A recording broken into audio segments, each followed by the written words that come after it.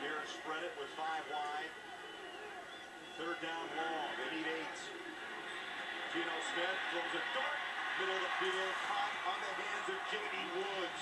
And moved the chains to the 43-yard line.